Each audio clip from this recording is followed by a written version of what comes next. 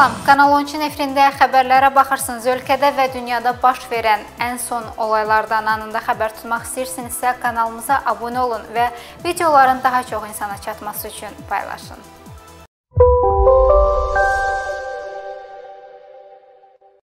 Bu gün Bərdədə tərtər hadisələri zamanı vətənə xəyanətdə ittiham olunaraq həbs olunanlar və öldürülənlərin yaxınları aksiya keçiriblər. Aksiya iştirakçıları hərbi korpusun komandiri general Hikmət Həsənovun və digərlərinin vəzifələrindən kənarlaşdırılmasını və həbs edilməsini, yaxınlarının isə azad olunmasını tələb ediblər. Bu gün Bərdədə tərtər hadisələri ilə bağlı övladları həbs edilmiş və qətlə yetirilmiş bir qrup valideyn Müdafiə Nazirliyinə məxsus hərbi korpusun qarşısında etiraz aksiyası keçiriblər. Valideynlər öldürülmüş, həbs olunmuş övladlarının və həyat yoldaşlarının şəkli olan köynək geyinərək aksiya keçirib. Onlar yaxınlarının işgəncə altında qətlə yetirilməsində iştirak edən Müdafiə Nazirliyi əməkdaşlarının cəzalandırılmasını, həbsdə olan hərbiçilərin azadlığa buraxılmasını olunmasını tələb ediblər. Valideynlər günahsız hərbiçilərin öldürülməsində və həbs edilməsində iştirak edən hərbi korpusun komandiri general Hikmət Həsənovun və digərlərinin vəzifədən kənarlaşdırılmasını və həbs edilməsini tələb ediblər. Aksiya yerinə polis cəlb olunub. Əraziyə ezam olunmuş əməkdaşımız Fərid İsmailov isə polis tərəfindən bir müddət saxlandıqdan sonra sərbəst buraxılıb.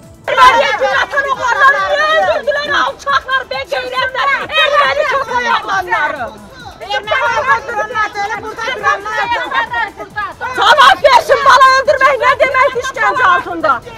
Biz vətən oğlu böyütmüşdük, torpaqdan ötəri. Gəlin maşını qabağını kəsin. Gəlin maşını qabağını kəsin, dayan görək. Qoy qaçsın görək haradan qaçacaqlar. Gəlib üç dəfə gəlib. 21-ci əsrə bax. Axırıncı əlimə qalıb olubdu.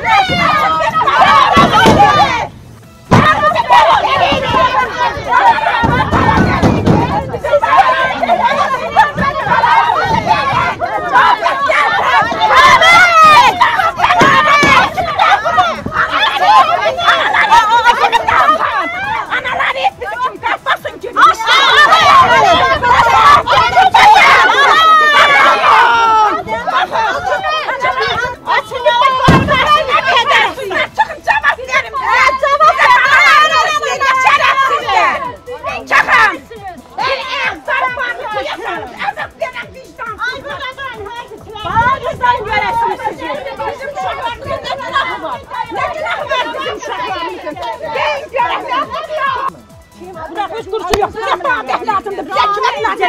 Sen bir de Lan dur bu bütün balam. Dur. Dur geri dön. Dur. Bu yok. Bu. Yalan dur. Öldürenler de hiç hakka değerli. Her şey çeyrek. Yoldan. Öbürü işkence altında. Öpçülük anne demek herifler. Ne gören ne sebebe gören. Koy desin. Biraz sabırlı ol. Dur koşacağım. razı olasınız. Siz qəbul olunuz. Maraton.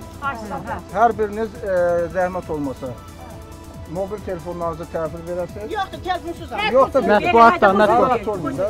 Siz hər biriniz indi Mətbuat da girəcəyəm, Yoxlanılasınız. mətbuat da girəcəyəm. Bəli, bəli, qəbul olacaq. dəqiqə. Yoxlanılasınız, qəbul olunasınız. Ha, oldu. Kimin qəbulunda? Kimin qəbulunda? e, Babək müəllim Yox, sizi qəbul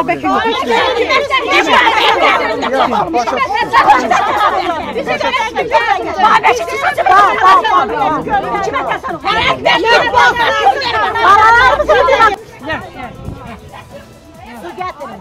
Yaş, yaş, Orada biraz su bakın. Tamam. Təhlükəsizliklə bağlı, sərhədimizin təhlükəsizliklə bağlı, düşmanlarımızın təhlükəsizliklə bağlı bir də xahiş edirəm. Yəni bu məsələni burada olmaz. Burada bu hərbi hissəni çəkib çəkmək olmaz. Bizim uşaqlarımız iş üstündə niyə olmayıb? Mən yığ mən yığışdıra bilmərəm yayıma. Bizi Hikmət Həsənov özü qəbul edir. Hikmət Həsənov qəbul edir. Bakı şəhər İcra Hakimiyyəti Müsavat Partiyasının 9-cu qurultayını keçirməsi üçün yer ayırdı. Qurultay oktyabrın 12-sində Binəqədi rayonundakı Billur Şadlıq Sarayında keçiriləcək. Partiyanın hazırki başqanı Arif Hacılı da ayrılmış yerlə razılaşıb.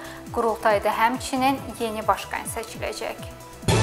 Müsavat Partiyası oktyabrın 12-sində növbəti qurultayını keçirməyə hazırlaşır. Qurultayın keçirilməsi üçün Bakı şəhər icra hakimiyyəti Binəqədi rayonundakı Billur Şadlıq Sarayını uyğun hesab edib. Bakı şəhər icra hakimiyyətinin rəsmi cavab məktubunu paylaşan Arif Hacılı qurultayın adı çəkilən yerdə keçiriləcəyini təsdiqləyib. Qurultayda həm də partiya sədrliyinə seçki olacaq hazırki sədr Arif Hacılı və divan üzvləri Tofiq Yaqublu və Yadigar Sadıqlı namizədliklərini irəli sürüblər. AXÇP fəalı Fuad Əhmədlinin səhhəti pisləşib məlumatı fəalın atası Zəfər bəy yayıb. Fuad artıq penitensiar xidmətin xəstəxanasına köçürülüb. Azərbaycan Xalq Cəbhəsi partiyasının həbsdə olan fəalı Fuad Əhmədlinin səhhəti pisləşib, o penitensiar xidmətin xəstəxanasına köçürülüb. Fəalın atası Zəfər Əhmədli Meydan TV-yə deyib ki, oğlu ağciyər və böyrəyindən əziyyət çəkir. Stat: Oğlum həbsdən əvvəl əməliyyat olunub. Bu xəstəliklə qapalı yerdə qala bilməz. Ali məhkəmədə proses zamanı 1 ay kürdəxanada qaldı. Oradan qayıdandan sonra isə vəziyyəti pisləşmişdi, nəfəs ala bilmirdi. Statın sonu. Fuad Əhmədlinin həbs müddətinin bitməsinə 10 ay qalıb. Azərbaycan Dövlət Sərhəd Xidməti Gürcüstanla sərhəddə yeni keşikçi qala sərhəd zastavasını istismara verib. Zastava Keşikçi Dağ Manastır məbəd kompleksini əhatə edir. Azərbaycan Dövlət Sərhəd Xidməti Gürcüstanla sərhəddə yeni Keşikçi qala sərhəd zastavasını istismara verib. Bu keşikçi dağ mağara məbəd kompleksini əhatə edir. Zastava müasir tələblərə cavab verən bütün zəruri avadanlıqla təchiz edilib. Zastavanın açılış mərasimində DSX rəisi Elçin Quliyev və Ağstafa rayon icra hakimiyyətinin başçısı Nizaməddin Quliyev iştirak ediblər. Mərasim zamanı qeyd edilib ki, yeni zastava sərhədin qorunması ilə yanaşı Azərbaycan xalqının tarixi mədəni irsinin qorunmasına yönəlib. Keşikçi Dağ mağara məbəd kompleksi Azərbaycan və Gürcüstan sərhədində 25 kilometr məsafədə yerləşir. Bu gün səhər saatlarından havanın kəskin dəyişməsi ilə əlaqədar əhaliyə xüsusi xəbərdarlıq edilib. Dənizdə də vəziyyət gərgindir. Dövlət Dəniz Agentliyi bildirib ki, Xəzərdə güclü küləklə əlaqədar gəmilərin təhlükəsizliyi ilə bağlı tədbirlər həyata keçirilib. Dənizdə dalğaların hündürlüyü 4-5 metrə çatıb. Bugün səhər saatlarından başlayan şimal küləyinin sürəti artıb. Küləyin sürəti saniyədə 13-18 metrə çatıb. Arabir 20-23 metrədək şiddətlənib. Dənizdə güclü küləklə əlaqədar təhlükəsizlik tədbirləri həyata keçirilib. Xəzərdə güclü küləklə əlaqədar gəmilərin təhlükəsizliyi ilə bağlı tədbirlər görülüb. Gün ərzində Xəzər akvatoriyasında küləyin sürəti saniyədə 25-30 metrə, dalğanın hündürlüyü isə 3,5-5,5 metrə çatıb çatıb. Axşama doğru küləyin gücü zəifləyib. Dövlət Dəniz Agentliyi gəmilərin təhlükəsiz yerlərdə lövbər sığınacaqlarında dayanmasını təmin edib. Növbə çəkən gəmilərin hərəkətində problem yaranmayıb. Bununla yanaşı, dənizdə neft-qaz platformalarının aid olduğu qurumlar hava xəbərdarlığı ilə bağlı məlumatlandırılıb. Sahil boyu ərazilərdə son naviqasiya və rabitə stansiyaları tam gücü ilə işləyir. Azərbaycanın ərazi sularında gəmilərin hərəkətinin təhlükəsizliyi yüksək səviyyədə təmin edilib.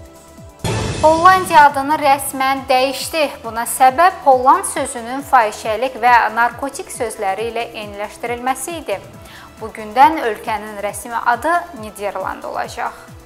Hollandiya qəbul edilən rəsmi qərarla Holland adı Niderland adı ilə dəyişdirilib. Ölkənin adının dəyişdirilməsinin səbəbi Holland sözünün fahişəlik və narkotik sözləri ilə eyniləşdirilməsidir. Hollandiya hökuməti qlobal imicini yeniləmək üçün Niderland adını ölkənin rəsmi adı olaraq işlətmək qərarı alıb. Bir çox yerlərdə Niderland ifadəsi işlənsə də ölkənin rəsmi adı Hollandiya kimi qəbul edilirdi. Bax belə, bu günlük və bu saatlıq bizdən bu qədər. Görüşmək ümidi ilə hələlik.